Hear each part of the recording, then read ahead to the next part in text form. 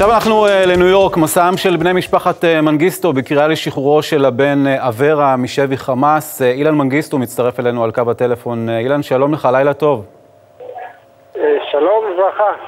אתה, אתם עדיין בבניין האו"ם? כרגע אנחנו בניו יורק, עוד מפגשים נוספים עם ארגונים וקהילות יהודיות. כן. אבל uh, היום בשעות הבוקר uh, היה נאום, uh, מסיבת עיתונאים באו"ם, כן. ספר לנו על המפגש שלכם שם, על הדברים שלכם uh, בפני מועצת הביטחון, בפני הגורמים האחרים. Uh,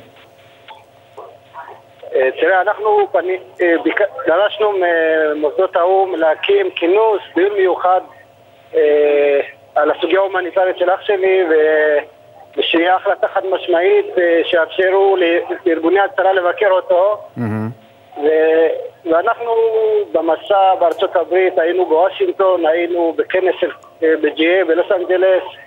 אה, אנחנו הבנו שבאמת יש פה כתובת ויש פה אנשים שבאמת אכפת להם מחיי אדם ואנחנו מאוד מעודדים.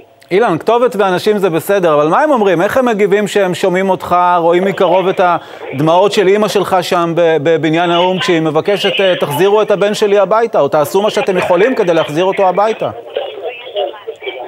אה, אין ספק שיש התגייסות לאנשים...